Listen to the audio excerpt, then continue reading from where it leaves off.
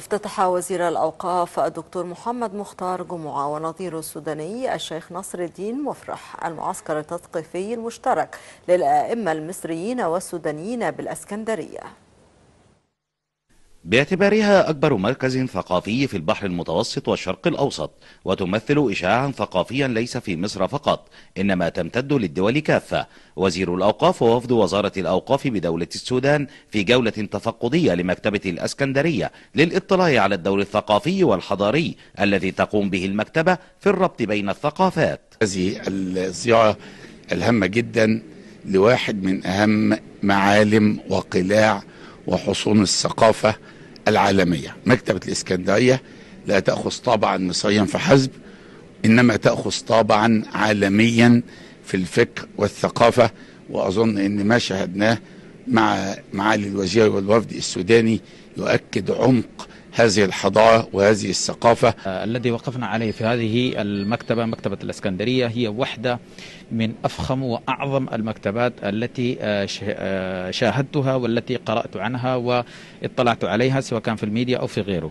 أفتكر أنها هي واحدة من أعظم ما يفتخر به الإنسان المصري من ماضي تليد يفتخر به ويتر ذكراه.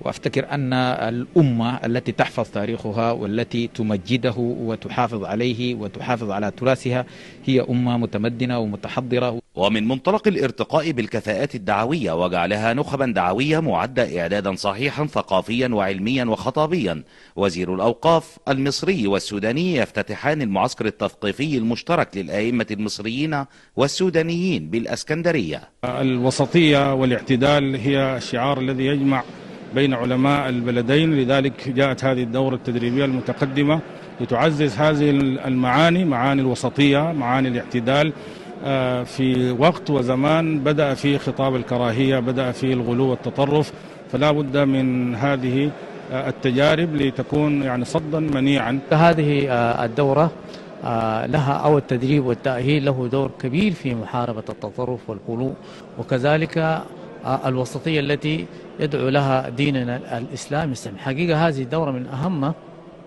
أهدافها أن يبسط هذا الدين وينشر بالفهم الصحيح.